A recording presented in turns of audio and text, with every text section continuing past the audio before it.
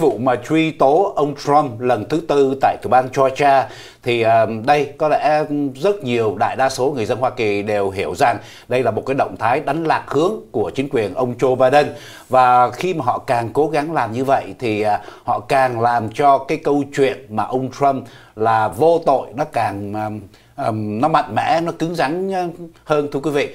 Và đó là cái lý do mà tại sao sau những cái vụ truy tố như vậy thì cái sự ủng hộ cho cựu tổng thống Donald Trump ra tranh cử chức tổng thống vào năm 2024 nó càng à, lên cao hơn. Cái à, chỉ số những người ủng hộ nó càng lên cao hơn, thưa quý vị. À, và một trong những cái vấn đề chính đó là chính quyền ông Joe Biden muốn đánh lạc hướng tất cả người dân Hoa Kỳ ra khỏi những cái vụ scandal mà chính bản thân phó tổng thống Joe Biden khi đó hồi xưa cùng với lại Hunter Biden và những Ờ, phe nhóm của ông Joe Biden khi xưa đã có những cái hành động mà buôn bán ảnh hưởng chính trị, âm mưu ờ, tham nhũng và hối lộ thì đây là những cái vấn đề chính mà chính quyền ông Joe Biden hiện nay đang ờ, muốn người dân Hoa Kỳ không nhớ đến nữa. Tuy nhiên thì chúng ta cũng còn có những người đảng viên bên đảng Cộng hòa những cái ủy ban họ vẫn giáo diết để mà theo dõi truy tố những cái vụ này liên quan đến những cái vấn đề tham nhũng của gia đình Joe Biden. Thì ờ, theo lời dân biểu hạ viện ông Greg ờ, uh, Stubbe uh, ờ, một người đảng cộng hòa từ bang Florida thì ông đã tuyên bố trên um, Newsmax TV vào hôm qua thứ năm rằng nếu mà tất cả mọi thứ đều uh, bình thường ổn định không có gì mà sai quấy thì tại sao à, ông Joe Biden khi xưa là phó tổng thống tại sao ông lại sử dụng các à, bút danh trong các email đã được biên tập lại do cục hồ sơ quản lý lưu trữ quốc gia được viết tắt là NARA đã công bố vào à, đầu năm nay? Khi mà đảng viên Cộng hòa đã tiến gần hơn đến việc khởi động một cuộc điều tra luận tội Tổng thống Joe Biden hiện nay thì uh, dân biểu hạ viện ông James Comer uh, một người đảng Cộng hòa từ bang Kentucky ông là chủ tịch của ủy ban hạ viện về sự việc mà giám sát và trách nhiệm giải trình thì ông đã yêu cầu cái uh, cơ quan NARA phải cung cấp những cái hồ sơ liên quan đến những cái bí danh mà phó tổng thống Joe Biden khi xưa sử dụng. Thì um,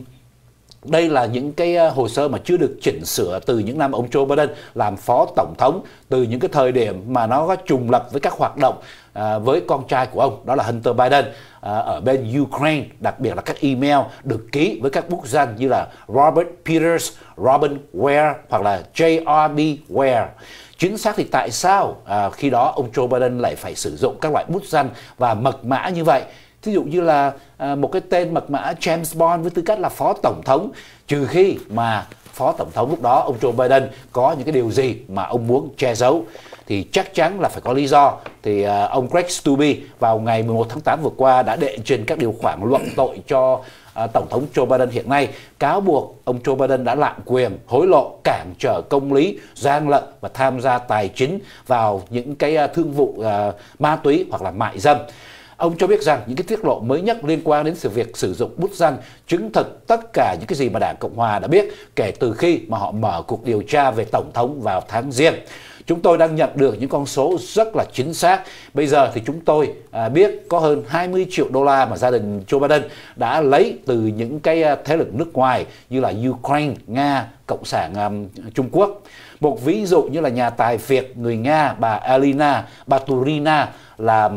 À, vợ của một ông um, thị trưởng của Moscow ông đã qua đời khi xưa. Thì bà này đã chuyển khoản chuyển ngân 3,5 triệu đô la vào uh, tài khoản của Hunter Biden. Thì uh, Hunter Biden, Joe và bà Irina Baturina đã từng ngồi ăn chung ngay tại thủ đô của nước Mỹ Washington DC một cái tiệm ăn của Ý Milano Cafe.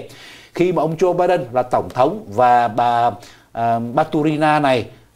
đã có liên quan đến ờ, chính quyền của cộng sản nga vào lúc đó. Thì khi mà nga xâm lăng vào lãnh thổ của ukraine, thì ờ, bà là một trong những nhà tài phiệt nga duy nhất không có tên trong danh sách trừng phạt của chính phủ hoa kỳ. Thì ờ, như quý vị thấy rõ ràng rồi 3 triệu rưỡi thì đã cho à, tên của bà không nằm trong danh sách bị à, chế tài Bây giờ chúng ta đã có những cái bằng chứng thực tế và trong những ngày sắp tới sẽ còn có rất nhiều bằng chứng được đưa ra um, cho công chúng được biết thưa quý vị. Và chúng ta cũng nhớ cái tình hình bây giờ nó tồi tệ nước Mỹ là cái, cái LA này và New York quý vị biết rồi. Có những cái phố ngày xưa rất sang trọng nhưng bây giờ bị cái đám à, homeless đó. Mà bây giờ cái cái New York City đó thì lại than phiền. Cái ông Mayer này, ông Mayer da đen đấy quý vị. Chính ông ta mở ra cho cái đám di dân nó vào bừa bãi vì nó bị trở thành cái nạn. Nghĩa là khắp nơi trộm cắp rồi nó phá đám làm đủ thứ. Thì bây giờ ông lại đang lên tiếng, ông than phiền. Giống như bây giờ đòi giúp. Ông than phiền là cái điều vô lý vì chính ông đòi mở cái chính sách đó mà. Ông này đã từng, nghĩa là khoe tiểu bang này là một cái tiểu bang giống như sanctuary để mà, nghĩa là giữ, giúp đỡ cho những người người dân lậu thì bây giờ không phải chịu thôi, tại sao ông lại than đây? Thì mình thấy rất vô lý. Người ta nói là ông, chính ông, chính sách ông như vậy thì bây giờ sanctuary city mà, thì bây giờ ông phải chịu chứ.